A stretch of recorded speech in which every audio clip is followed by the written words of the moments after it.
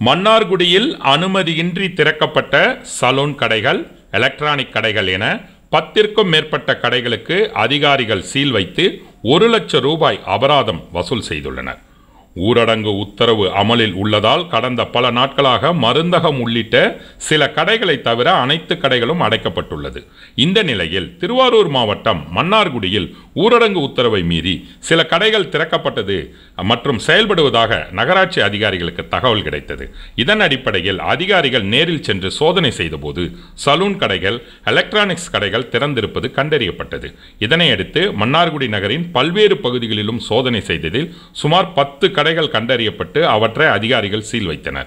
கடை உரிமையாளர்களிடமிருந்து ஒரு லட்சம் ரூபாய் அபராதம் வசூலித்து அதிகாரிகள் நடவடிக்கை மேற்கொண்டனர்.